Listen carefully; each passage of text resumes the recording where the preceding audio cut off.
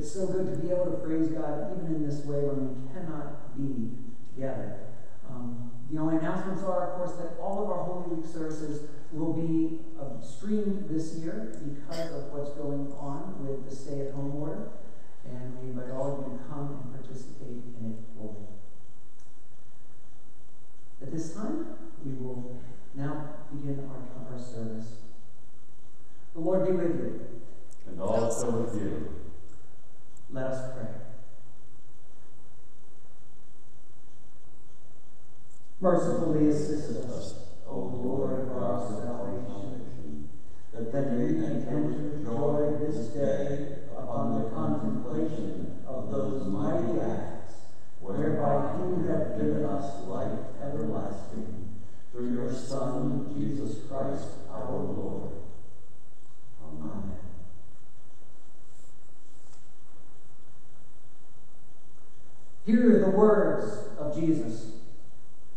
Behold, we are going up to Jerusalem.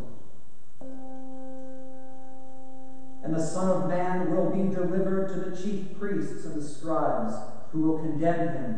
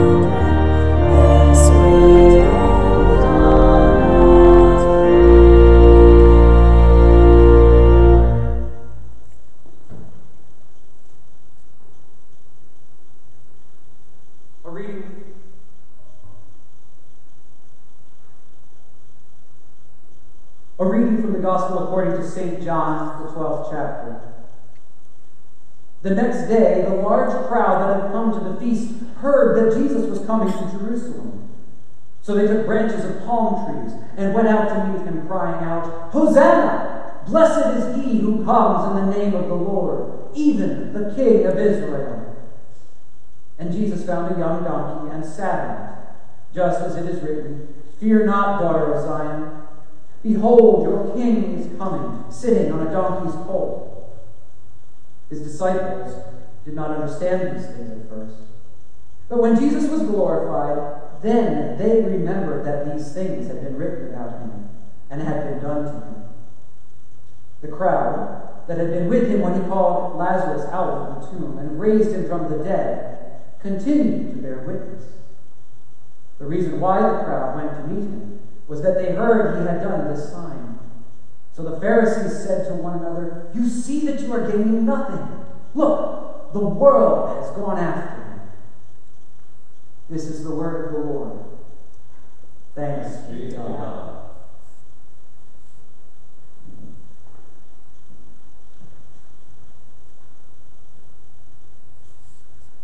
The Lord be with you. And also with you. Let us pray.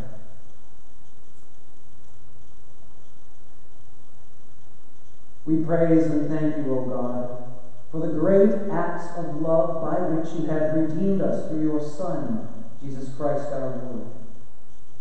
On this day, he entered the holy city of Jerusalem in triumph and was acclaimed Son of David and King of kings by those who scattered their garments and branches of palm in his path. Let our lives truly bless the Messiah who comes in the name of the Lord and grant that we may ever hail him as our Lord and King, following our Savior with perfect confidence through the same Jesus Christ our Lord, who lives and reigns with you in the Holy Spirit, one God now and forever. Amen. At this time, we're going to have something a little bit special. We're having a children's sermon, and I'm going to be assisted in that by Kate Root. She's going to teach us how to make crosses out of our palm fronds, which will be available when this stay at home order has been lifted. Kate?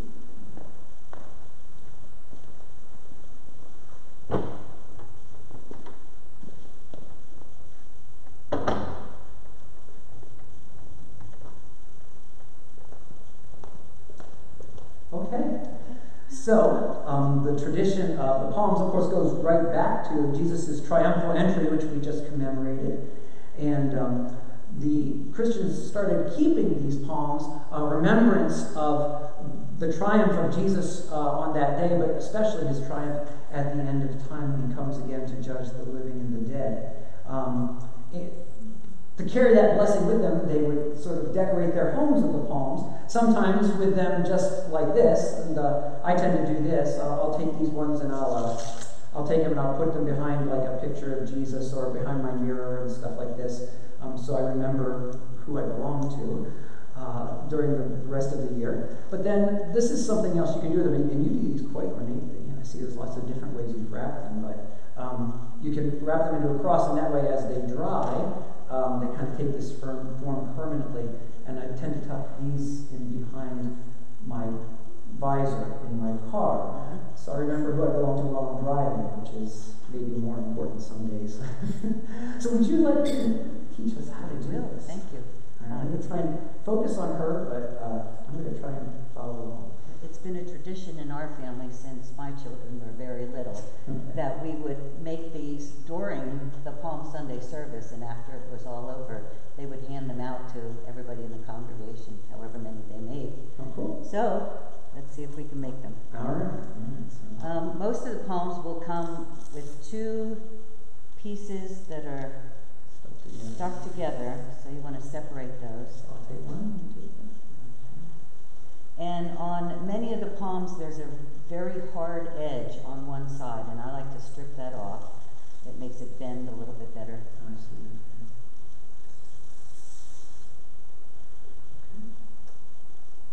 And then we can start. Okay. I take the palm and I bend it to the back. Don't crease it. Just bend it. And then the cross should be, if you just eyeball it, um, the part should be about three equal parts.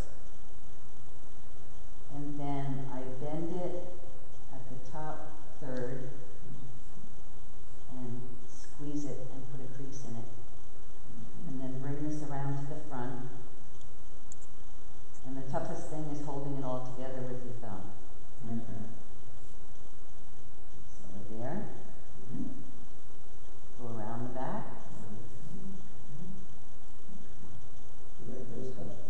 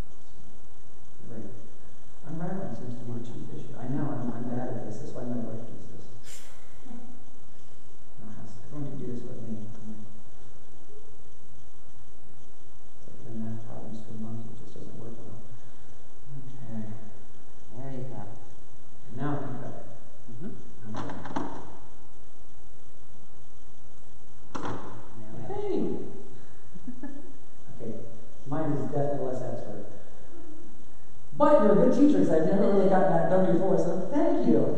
So everybody can continue this with construction paper at home until Palm Sunday is until this uh, stay-at-home order is lifted, and uh, that's a great activity to do with your kids and help celebrate this day since we cannot be together.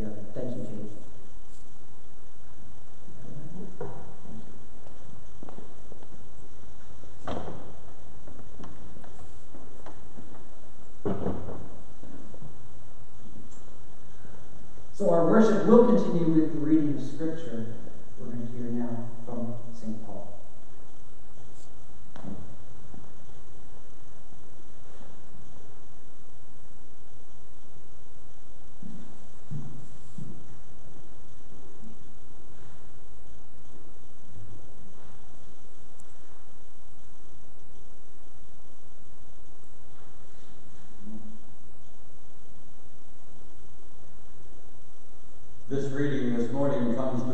from the book of Philippians, chapter 2, verses 5 through 11. Have this mind among yourselves, which is yours is in Christ Jesus, who, though he was in the form of God, did not count equality with God a thing to be grasped, but emptied himself by taking the form of a servant, being born in the likeness of men and being found in human form, he humbled himself by becoming obedient to the point of death, even death on a cross. Therefore, God has highly exalted him and bestowed on him the name that is above every name, so that at the name of Jesus every knee should bow in heaven and on earth and under the earth, and every tongue confess that Jesus Christ is Lord, to the glory of God the Father. The word of the Lord. Thanks be to God.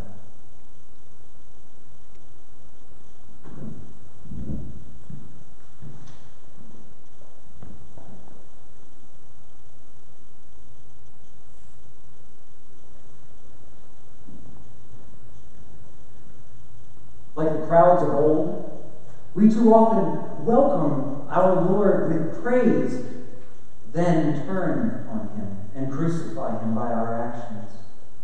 Let us go now with our Lord from the gates of Jerusalem to Golgotha, the mount of our salvation. We thank you, Lord Jesus, for the privilege of walking in the path of salvation with you through the Word. Let us begin now with our gradual hymn, When I Survey the Wondrous Cross.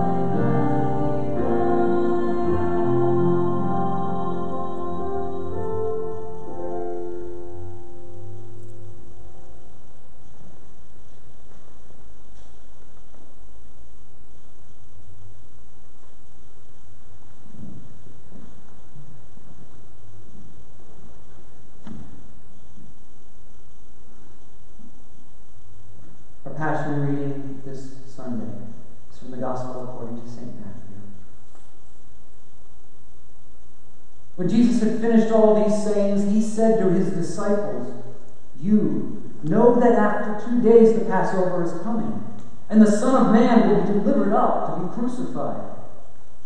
Then the chief priests and the elders of the people gathered in the palace of the high priest, whose name was Caiaphas and plotted together in order to arrest Jesus by stealth and kill him. But they said, Not during the feast, lest there be an uproar among the people.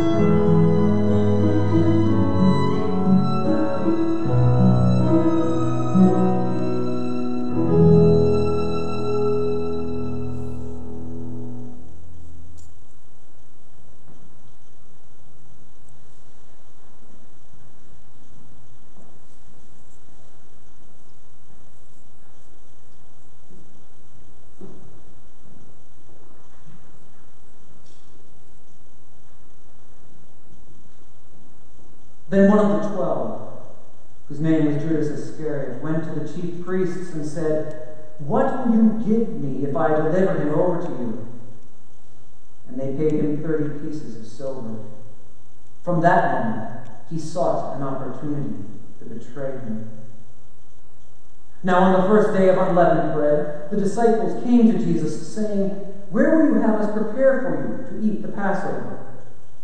He said, Go into the city to a certain man and say to him, The teacher says, My time is at hand. I will keep the Passover at your house with my disciples. And the disciples did as Jesus directed them, and they prepared the Passover. When it was evening, he reclined at table with the twelve. And as they were eating, he said, Truly I say to you, one of you will betray me. And they were very sorrowful and began to say to one another, Is it I, Lord? He answered, He who has dipped his hand in the dish with me will betray me. The Son of Man goes as it is written of him, but woe to that man by whom the Son of Man is betrayed. It would have been better for that man if he had not been born. Judas, who would betray him, answered, Is it I, Rabbi?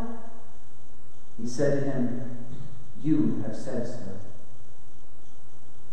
Here ends the reading.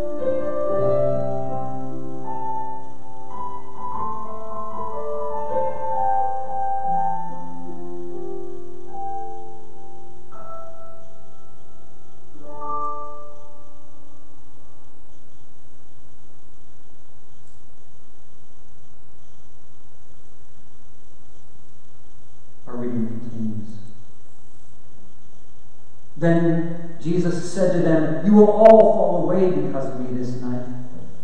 For it is written, I will strike the shepherd, and the sheep of the flock will be scattered. But after I am raised up, I will go before you to Galilee. Peter answered him, Though they all fall away because of you, I will never fall away. Jesus said to him, Truly, this very night before the rooster crows, you will deny me three times. Peter said to him, Even if I must die with you, I will not deny you. And all the disciples said the same. Then Jesus went with them to a place called Gethsemane, and he said to his disciples, Sit here while I go over there and pray. And taking with him Peter and the two sons of Zebedee, he began to be sorrowful. Then he said to them, My soul is very sorrowful, even to death. Remain here and watch with me. And going a little farther, he fell on his face and prayed, saying, My Father, if it be possible, let this cup pass from me. Nevertheless, not as I will, but as you will. And he came to the disciples and found them sleeping. And he said to Peter, So, could you not watch with me one hour? Watch and pray that you may not enter into temptation. The spirit indeed is willing, but the flesh is weak. Again, for the second time, he went away and prayed, My Father, if this cannot pass unless I drink it, your will be done. And again he came and found them sleeping, for their eyes were heavy. So leaving them again, he went away and prayed for the third time saying the same words again. Then he came to the disciples and said to them, Sleep and take your rest later. See, the hour is at hand, and the Son of Man is betrayed into the hands of sinners. Here ends the reading.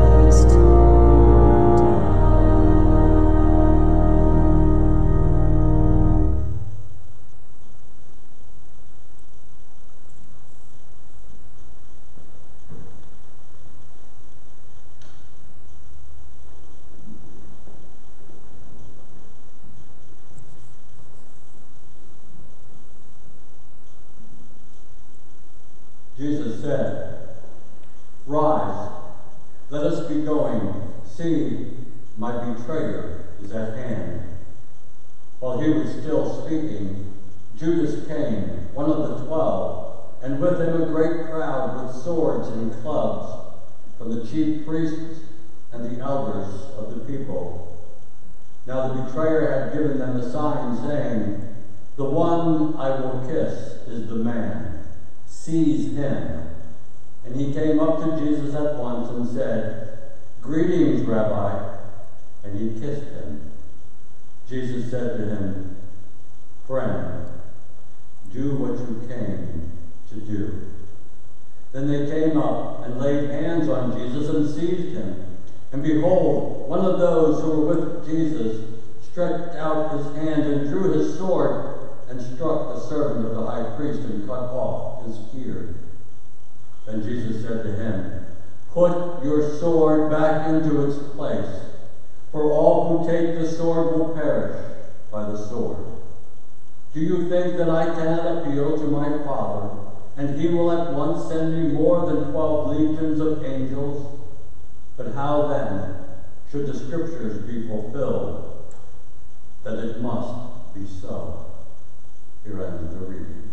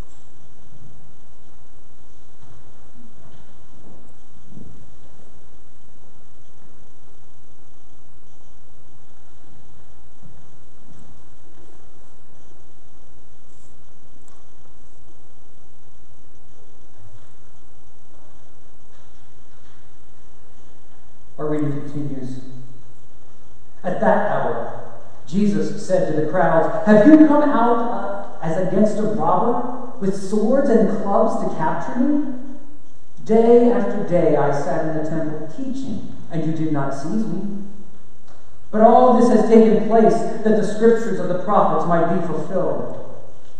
Then all the disciples left him and fled. Then those who had seized Jesus led him to Caiaphas, the high priest, where the scribes and the elders had gathered.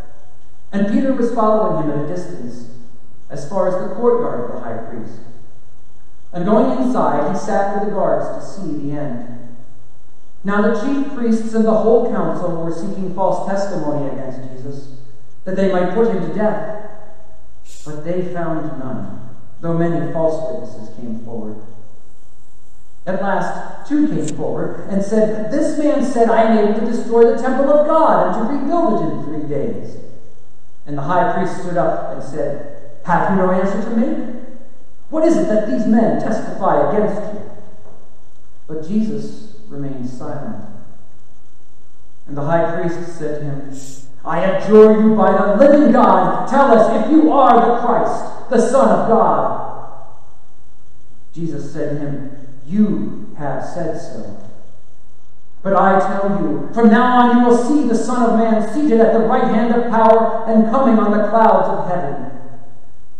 Then the high priest tore his robes and said, He has uttered blasphemy! What further witnesses do we need? You have now heard his blasphemy. What is your judgment? They answered, He deserves death. Then they spit in his face and struck him. And some slapped him, saying, Prophesy to us, you Christ. Who is it that struck you?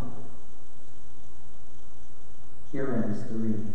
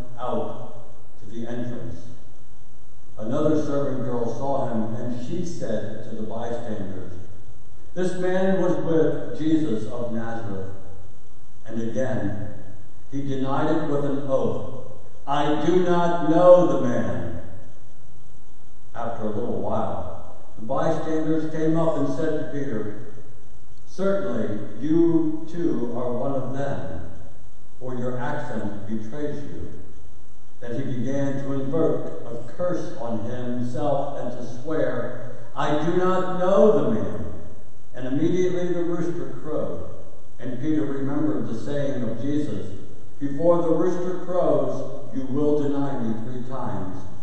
And he went out and wept bitterly. When morning came, all the chief priests and the elders of the people took counsel against Jesus to put him to death. And they bound him and led him away and delivered him over to Pilate the governor.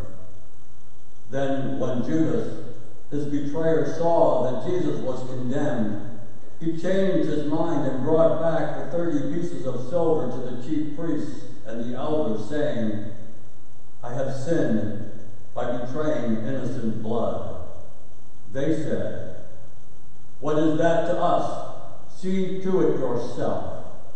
And throwing down the pieces of silver into the temple, he departed, and he went and hanged himself. But the chief priest, taking the pieces of silver, said, It is not lawful to put them into the treasury, since it is blood money. So they took counsel and bought with them the potter's field as a burial place for strangers. Therefore, that field has been called the field of blood to this day. Then was fulfilled what had been spoken by the prophet Jeremiah, saying, And they took the thirty pieces of silver, the price of him on whom a price had been set by some of the sons of Israel. And they gave them for the potter's field, as the Lord directed me. Here ends the reading.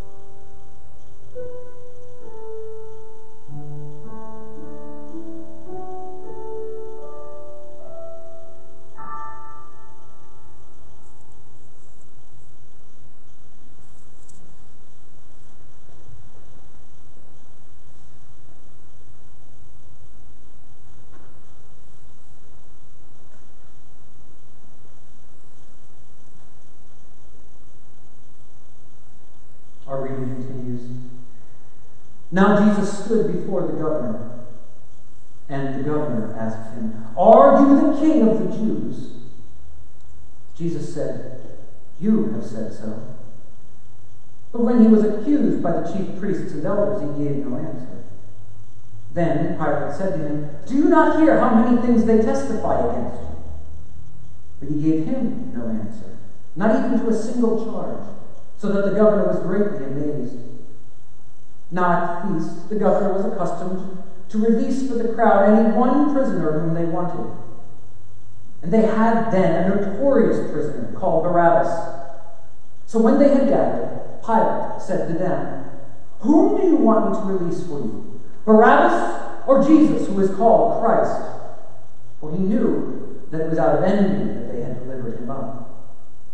Besides, while he was sitting on the judgment seat, his wife sent to him, sent word to him, Have nothing to do with that righteous man, for I have suffered much because of him today in a dream.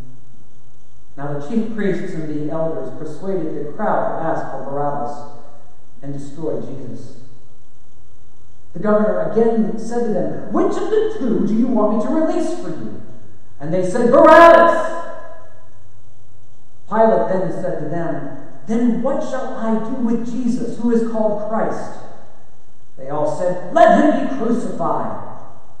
And he said, Why? What evil has he done? But they shouted all the more, Let him be crucified. So when Pilate saw that he was gaining nothing, but rather that a riot was beginning, he took water and washed his hands before the crowd, saying, I am innocent of this man's blood. See to it yourselves.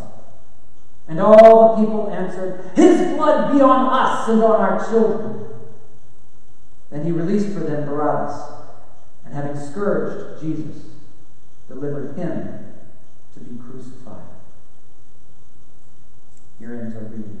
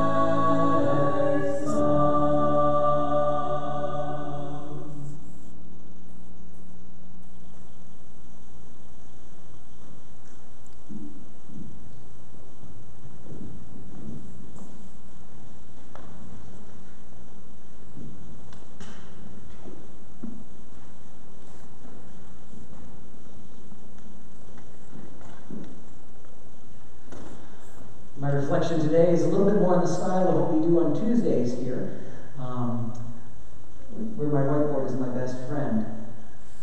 As, uh, as we have just heard in this reading, the crowd, led by the Pharisees and the Sanhedrin, are faced with a choice of whom they are going to have released on the great festival day by the governor, Pontius Pilate. Will it be Barabbas?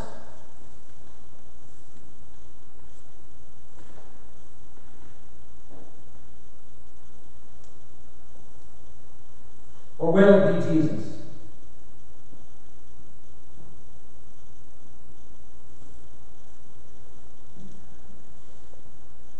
Two people accused of heinous crimes against the nation. One of blasphemy, our Lord.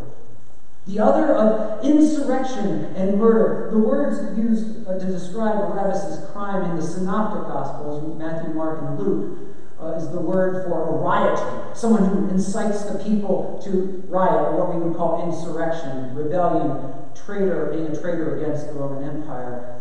Jesus is accused of blasphemy. Why? Because he has claimed for himself in the chapters leading up to this moment, by action, by word, and even by title, that he is the Son of God, as the, as the high priest says to him in the reading, the Christ, the Son of God.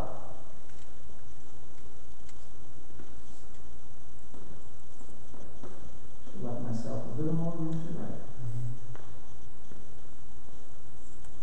Now, in the earliest copies we have of Mark, Matthew's Gospel, Barabbas has another name as well. Jesus Barabbas. Some skeptics have seen this as a reason to doubt the authenticity of the story, that maybe this was invented to provide a contrast. But Jesus was actually a very common name in that time in the world, in that place in the world. For the same reason that the name George was popular in the United States at one time, because there was this guy named George Washington who helped establish our country, so people named their, their born sons after George. Well, in the same way, the name Jesus in the original Hebrew is Yeshua or Joshua.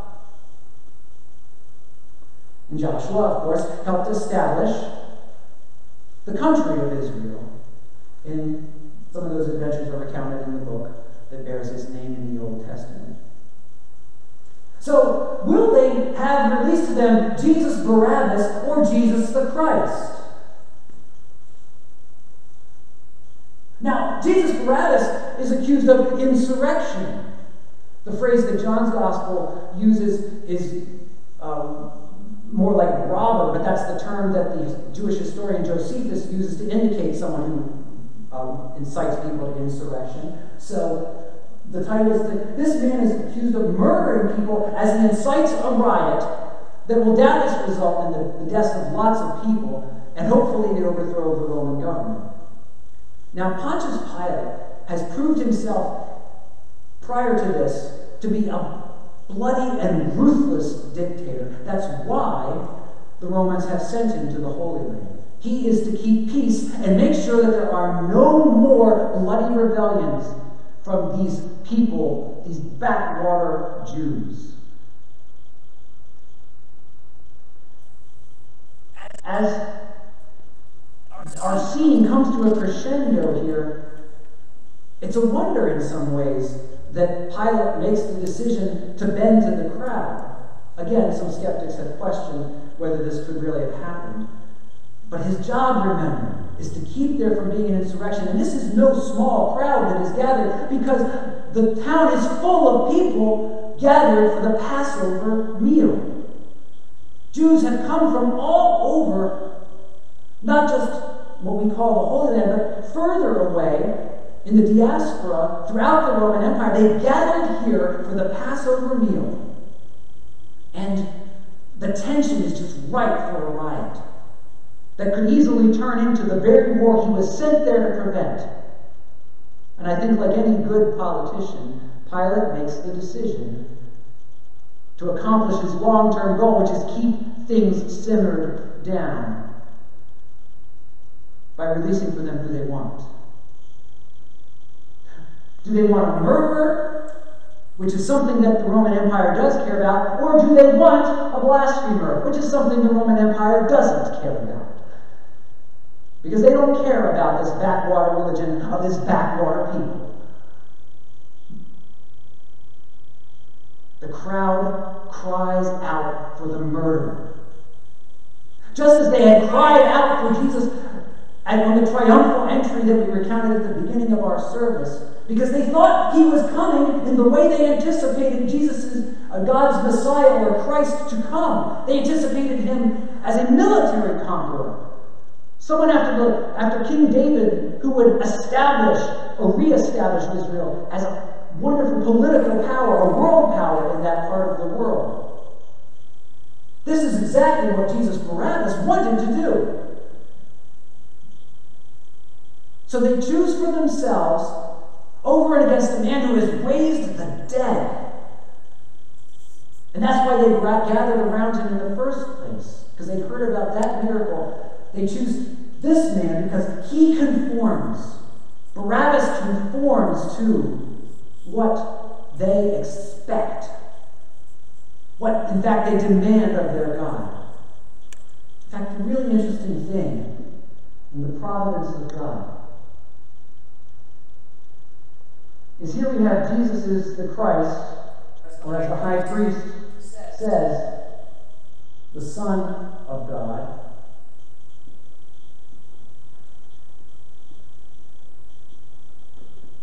A God whom earlier in this gospel, what we call the Sermon on the Mount, Jesus had taught the people to call our Father in the prayer we all know so well.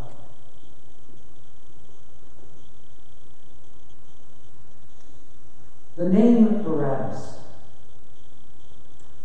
if you were to write it like this, Bar Abba. Abba is the word that is Father. And Jesus teaches what we call the Lord's Prayer. And this was a common surname we know from the Talmud. So they're faced with a choice between Jesus, Son of the Father, but who conforms to their expectations, or Jesus, the Son of the Father, who does not but can raise the dead to life. And people, this crowd, chooses the one that conforms to their hopes and their expectations.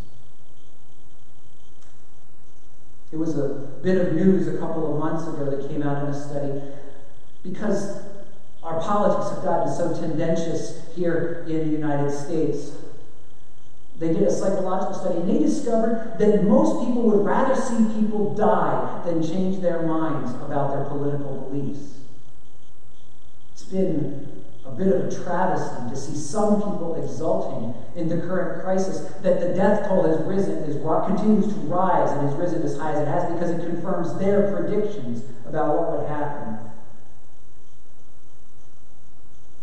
That we would choose the death of others, a murderer, over the one who can raise the dead to life is a perennial problem for human beings.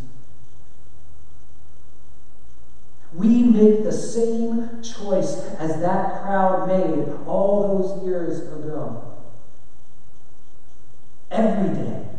When we choose our own passions, our own appetites, our own desires, instead of obedience to what the one who can raise the dead to life has taught us, we choose again a God shaped in the way we want this is why John Calvin said that the mind of fallen humanity is an idol factory. We're always refashioning God in our own image. Or as I think it was Chesterton said, in the beginning God made man in his own image, and man has never ceased trying to return the favor. We want God to conform to our hopes and our expectations, and we will have no other God. And so the crowd says, Give us Jesus Barabbas.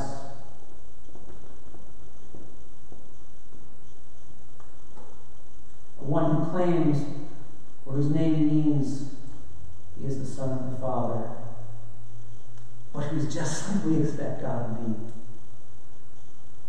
And crucify Jesus Christ, who is always confounding our hopes and our expectations, but who can raise us from the dead. When we know this about ourselves, we are ready to hear the words that the crowd in the end cried out as words of hope. When Pilate washes his hands and says, I'm not guilty of this man's blood, they say, echoing the exact same words that the people of Israel said at the bottom of Mount Sinai when Moses brought the covenant to them, when they say, His blood be on us and on our children, then when we know that we too would be the ones who shouted, Crucify him, then we know that we are ready to hear those words, His blood be on us and on our children. That those words spoken in arrogance are a mantra of hope. Because only by the blood of Jesus, only in the depths of his mercy shown to us on the cross, only when our sins are washed away by his sacrifice, can we attain to eternal life. And the good news is, as Jesus will say when he's being crucified, when he says, Forgive them, they know not what they do people who would crucify Jesus, who are exactly the kind of people he came to save. Will you join me for a word of prayer?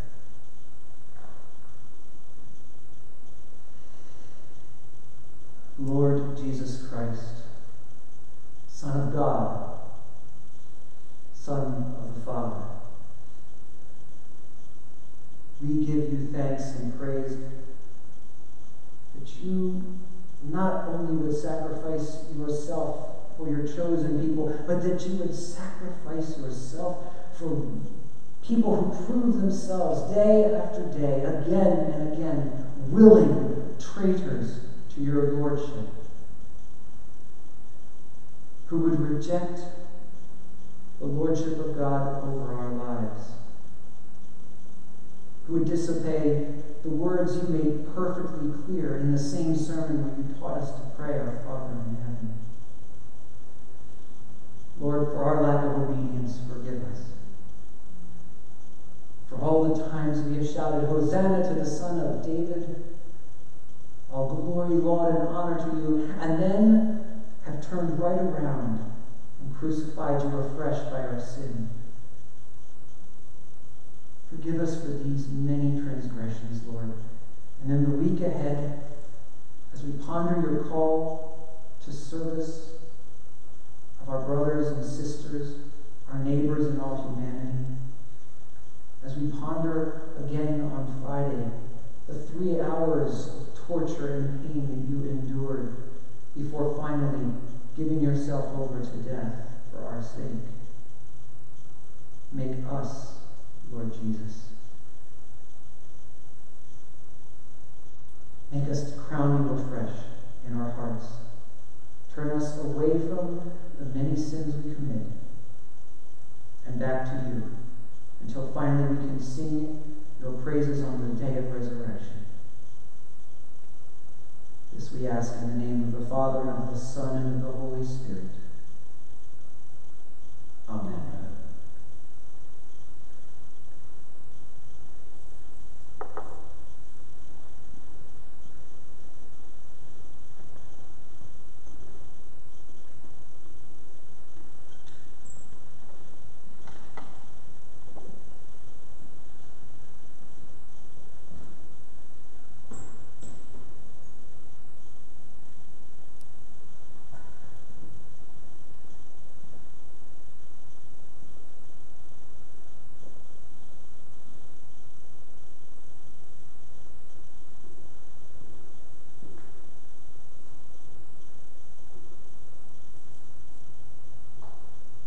of our Lord's passion continues. Then the soldiers of the governor took Jesus into the governor's headquarters, and they gathered the whole battalion before him, and they stripped him and put a scarlet robe on him, and twisting together a crown of thorns, they put it on his head, and put a reed in his right hand. And kneeling before him, they mocked him, saying, Hail, King of the Jews! And they spit on him, and took the reed, and struck him on the head. And when they had mocked him, they stripped him of the robe, and put his own clothes on him, and led him away to crucify him. As they went out, they found a man of Cyrene, Simon by name. They compelled this man to carry his cross. And when they came to a place called Golgotha, which means place of a skull, they offered him wine to drink mixed with gall. But when he tasted it, he would not drink it. And when they had crucified him, they divided his garments among them by casting lots. Then they sat down and kept watch over him there. And over his head they put the charge against him which read, This is Jesus, King of the Jews. Then two robbers were crucified with him, one on the right and one on the left.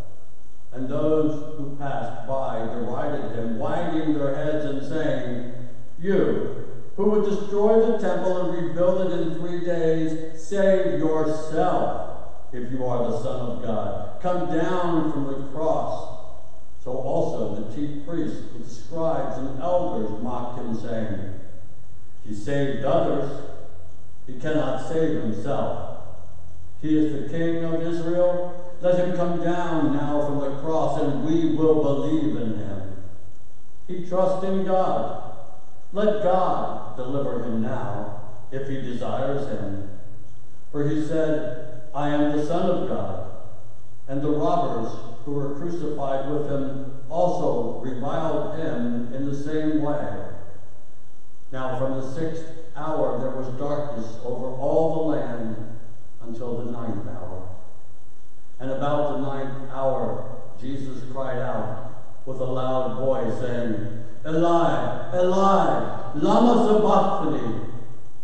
That is, my God, my God, why have you forsaken me? And some of the bystanders, hearing it, said, This man is calling Elijah. And one of them at once ran and took a sponge, filled it with sour wine, and put it on a reed and gave it to him to drink. But the others said, Wait, let's see whether Elijah will come to save him. And Jesus cried out again with a loud voice and yielded up his spirit.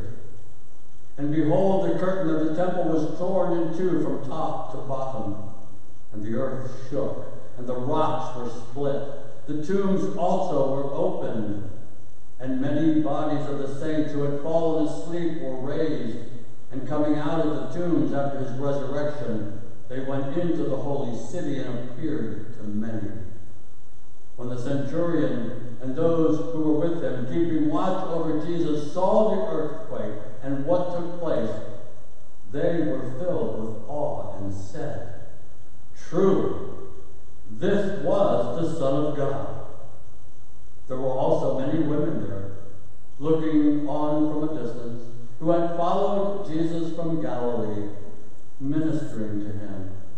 Among them were Mary Magdalene and Mary, the mother of James and Joseph, and the mother of the sons of Zebedee. Here ends the reading.